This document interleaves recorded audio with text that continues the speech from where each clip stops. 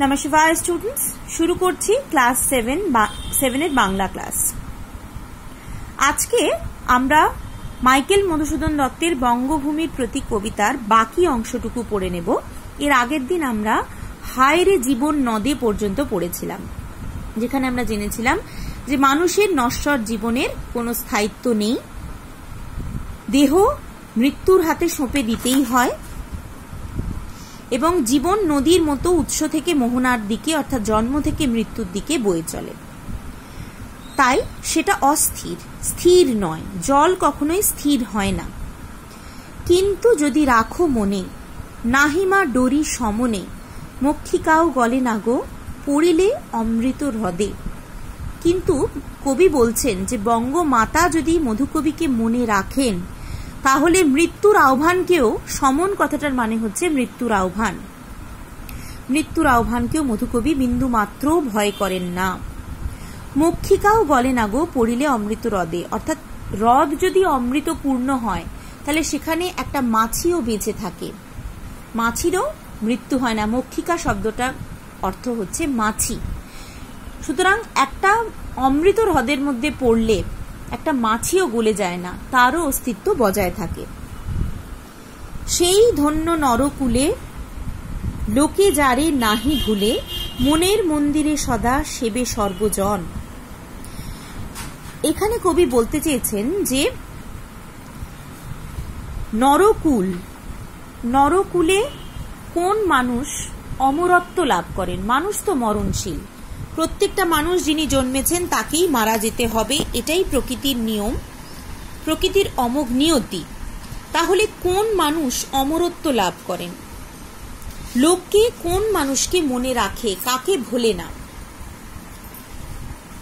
মনের মন্দিরে সেই মানুষটি চিরকাল স্থান পান যিনি কীর্তিমান, যিনি তার কীর্তির মধ্যে দিয়ে বেঁচে থাকেন, অর্থাৎ যিনি কোনো ভালো কাজ করে যান। সেটা যে কোনো রকমের কাজ হতে পারে, সেটা সাহিত্য রচনা হতে পারে, সেটা খেলাধুলা হতে পারে, সেটা সমাজ সেবা হতে পারে, কিন্তু নিজের কীর্তি সব মানুষকেই স্থাপন করতে হয়। কীর্তি যে মানুষের থাকে, সেই মানুষ নিজের কীর্তির মধ্যে দিয়ে আজন্ম মানুষের মনের মন্দিরে পূজিত হন বা সেবিত হন। তার কোনোদিন মৃত্যু হয় না। তার ইহলৌকিক দেহ যদি বা সরে যায়, চলে যায় পৃথিবী থেকে কিন্তু তার নাম, তার অস্তিত্ব চিরকালের জন্য পৃথিবীতে তার কীর্তির মধ্যে দিয়ে অমর হয়ে থাকে। তারপরে আবার কবি বলছেন, কিন্তু কোন গুণ আছে? যাচিব যে তব কাছে হেন অমরতা আমি। কহ গো, শ্যামা জন্মদে অর্থাৎ কবি নিজেকে বলছেন, যে মুহূর্তে তিনি বঙ্গমাতার কাছে অমরত্ব প্রার্থনা করছেন, সেই মুহূর্তে তার মনে হচ্ছে। যে এমন কোন গুণ তার আছে যে বঙ্গমাতা তাকে এই অমরত্বের সম্মান দেবেন? তার কারণ তিনি তো একটা সময় বঙ্গমাতাকে প্রত্যাখ্যান করে চলে গিয়েছিলেন ইংরেজি সাহিত্যের বড় কবি হবার আশায়। তখন তো তিনি বঙ্গ সাহিত্য যে এত সম্পদপূর্ণ, বঙ্গ সাহিত্য যে সম্পদের আকর, সম্পদের খনি, এবং সেখান থেকেই যে তিনি জীবনে প্রতিষ্ঠা লাভ করতে পারবেন, এই কথাটা ভাবেননি, চিন্তা করেননি। তাহলে যে বঙ্গমাতাকে তিনি প্রত্যাখ্যান করেছিলেন না চিনতে পেরে প্রথম জীবনে, সেই বঙ্গমাতার কাছে তিনি অমরত্বের বর কি করে লাভ করতে পারেন? তার এমন কোন গুণ আছে যে বঙ্গমাতা তাকে তার মনের মণিকোঠায় চিরকালের জন্য স্থান দেবেন? এখানে কহগু শ্যামা জন্মদে। জন্মদে মানে হচ্ছে জন্মদাত্রী। বড়দে মানে হচ্ছে বর দাত্রী যিনি বর দান করেন। তবে যদি দয়া করো, ভুল দোষ গুণ ধরো, অমর করিয়া বর দেহ দাসে, সুবরদে। তারপরে কবি বলছেন যে, কিন্তু আমার যা ভুল, যা ভ্রান্তি, তাকে যদি তুমি ক্ষমা করে দাও বঙ্গমাতা, আমার দোষকে যদি তুমি গুণ হিসাবে দেখো, গুণ হিসাবে পরিগণিত হয় যদি আমার দোষটা, তাহলে কিন্তু তুমি আমাকে এই বরটুকু, অমরত্বের বরটুকু প্রদান করতেই পারো, কারণ আমি তোমার আজন্মের সেবক। অমর করিয়া বর দেহ দাসে, সুবরদে। ফুটি যেন স্মৃতি জলে, মানসীমা যথা ফলে, মধুময় তামরস, কি বসন্ত, কি শরদে। অর্থাৎ, এখানে একটা খুব সুন্দর উপমার অবতারণা করা হয়েছে। আমরা জানি কৈলাসে মানস সরোবর বলে একটা সরোবর রয়েছে, অর্থাৎ একটা জায়গা রয়েছে যেটা বহু নদীর উৎসমুখ, যেখান থেকে যমুনা নদী সৃষ্টি হয়েছে। এই মানস সরোবর ব্রহ্মপুত্র নদীর সৃষ্টি হয়েছে। হুম, তো এই মানস সরোবর ব্রহ্মপুত্র নদী, যমুনা নয়, ব্রহ্মপুত্র নদীর সৃষ্টি হয়েছে, যেটি আসামে চলে গেছে। তো এই মানস সরোবর একাধিক নদীর উৎসস্থল। তাই এই মানস সরোবর জায়গাটি অত্যন্ত সুন্দর এবং এটাই বিশ্বাস করা হয় যে এই মানস সরোবর মর্তের স্বর্গ, তার সৌন্দর্যের বিচারে। তাই কবি বলছেন, কারণ এই মানস সরোবরে সারা বছর কোনো সঠিক ঋতুতে পদ্ম ফোটে না। সারা বছর তামরস মানে হলো পদ্ম, যা সারা বছর ফোটে এবং এটাই এই মানস সরোবরের বিশেষত্ব বা সৌন্দর্য। এই কারণেই মানস সরোবর সরোবর স্বর্গের সঙ্গে তুলনীয়। তাই কবি বলছেন, ফুটি যেন স্মৃতি জলে অর্থাৎ বঙ্গমাতার স্মৃতিরূপ জলে। স্মৃতিটাকে যদি জল হিসাবে মানস সরোবরের জল হিসাবে কল্পনা করা হয়, তাহলে সেই বঙ্গমাতা স্মৃতিরূপ জলে। মানসে মা যথা ফলে অর্থাৎ মানস সরোবরে যেমন পদ্ম ফলে বা পদ্ম ফুল ফোটে, তেমনি বঙ্গমাতার মানসে, অর্থাৎ বঙ্গমাতার মনে, এখানে মানস শব্দটিও দর্থব্যঞ্জক একটা হচ্ছে একটা মানুষ মানে হচ্ছে মানুষ সরোবর, আরেকটা মানুষ মানে হচ্ছে মানসিকতা বা মন বা স্মৃতি।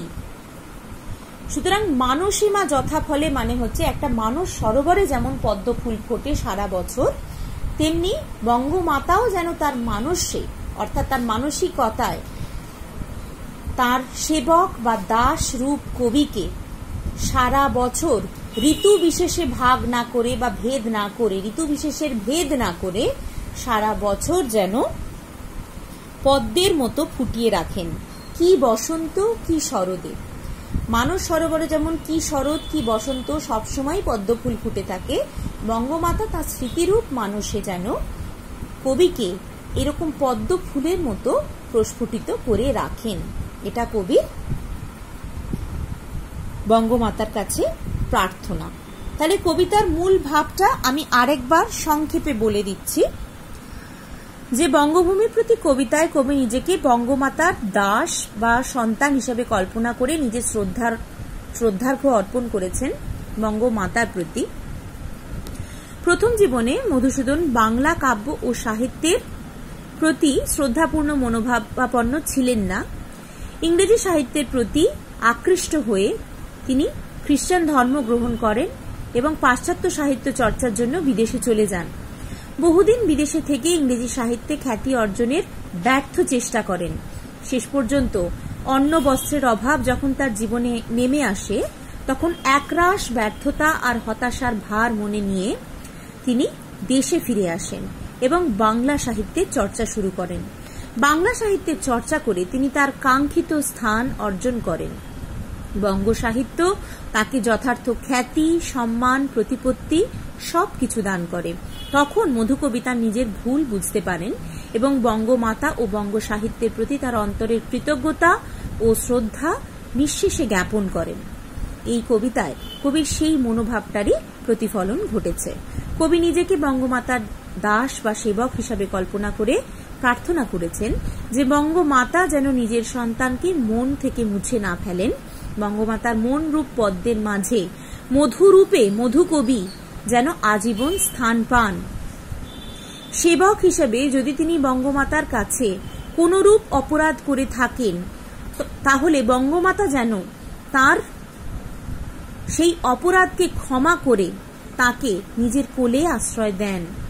প্রবাসে গিয়ে দৈব দোষে যদি তিনি মারাও যান, তাহলে তার মনে অন্তত এতটুকু সান্ত্বনা বা শান্তি থাকবে যে তিনি নিজের মায়ের কোলে আশ্রয় পেয়েছেন। পৃথিবীর বুকে জন্ম, মৃত্যু প্রকৃতির অমোঘ নিয়ম। জীবন পদ্মপত্রে জলের মতন। কেউ অমর শরীর নিয়ে বেঁচে থাকে না। কিন্তু মানুষ অমরত্ব অর্জন করে নিজের কীর্তির দ্বারা। কীর্তিমান মানুষ জনসাধারণের মনের মণিকোঠায় চিরকাল সেবিত বা পূজিত হন। কিন্তু মধুকবি জিজ্ঞাসা করেছেন জন্মভূমিকে যে সন্তান হিসাবে তার এমন কি গুণ আছে, যার জন্য বঙ্গমাতা তাকে প্রত্যাখ্যান করবেন না? কিন্তু যদি তার সমস্ত দোষ ত্রুটি ক্ষমা করে, শুধু সন্তান হিসাবে বা সেবক হিসাবে বঙ্গমাতা তার সমস্ত গুণকে ক্ষমা, দোষকে ক্ষমা করে গুণ হিসাবে ধরেন, তাহলে কবি তার আজীবন বঙ্গমাতার সেবায় নিযুক্ত করবেন। তাই তিনি বঙ্গমাতার কাছে প্রার্থনা করেছেন যে আপন স্মৃতি মানসে পদ্ম ফুলের মতো যেন বঙ্গমাতা তাকে ফুটিয়ে রাখেন। মানস সরোবরে যেমন সারা বছর পদ্ম ফুল ফোটে, তেমনি বঙ্গমাতার স্মৃতিরূপ মানুষে কবি সারা জীবন প্রস্ফুটিত হয়ে থাকতে চান। তাহলেই কবির জীবন ধন্য হবে। এর পরের ভিডিওতে আমরা অনুশীলনীটা আলোচনা করব। নমস্কার।